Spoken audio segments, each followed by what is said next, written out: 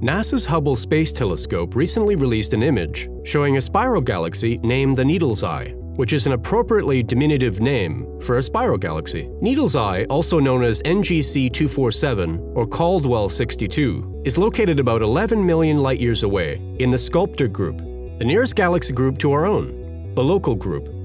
This name was given to this galaxy because one end of it features a strange void of stars not seen in this Hubble close up. A zoomed in view shows the edge of the galaxy, on the other side of the void, in addition to smaller and further distant galaxies, as well as a very bright star in the foreground. We can see smaller and more distant galaxies below the disk of NGC 247. Bright red areas indicate regions of dense gas and dust and robust star formation near the edge of the galaxy. The mysterious hole in Caldwell 62 is located on the other side of the galaxy. This part of the galaxy has a shortage of gas, which means it has little material from which to form new stars.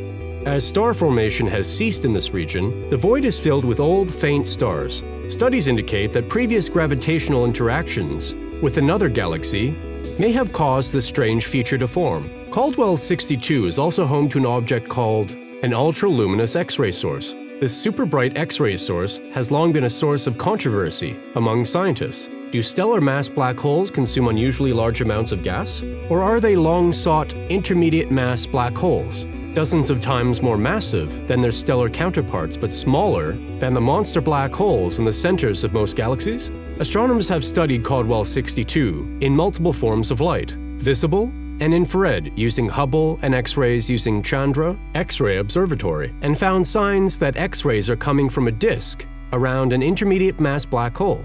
Scientists have added Needle's Eye Galaxy to James Webb's list to get more accurate answers to these questions. We would like to know what you think about the ultraluminous X-ray source's nature. Thanks for watching.